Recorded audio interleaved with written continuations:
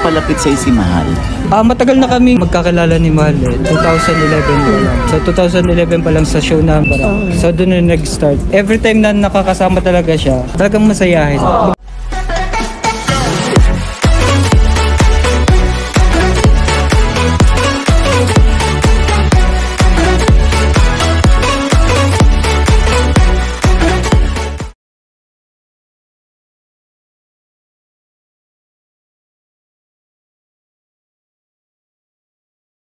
Migs Molino sinabi kay Ogie Diaz kung bakit niya nagustuhan si Mahal Tesorero.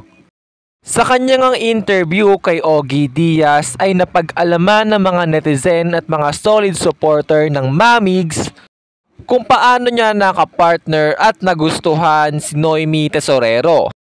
Aniya ang mga tawa at ngiti daw ni Mahal ay walang kapalit at ito nga daw ang nagpapasaya sa kanya.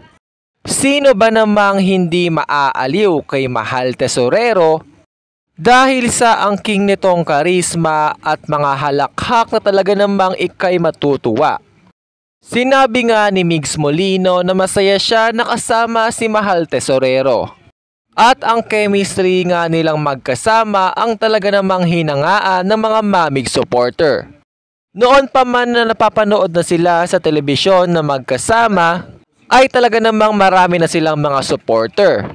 Hanggang sa magkaroon na nga sila ng mga sari-sariling vlog at YouTube channel. At dito na nga lumago ng lumago ang sakop ng kanilang mga fans hindi lang sa Pilipinas pati na rin ang mga OFW. Na natutuwa talaga sa tuwing nakikita silang magkasama at kinikilig na rin sa mga prank nila sa isa't isa. Yan ang ating update for today. Kung natawas mo itong video, please subscribe for more update.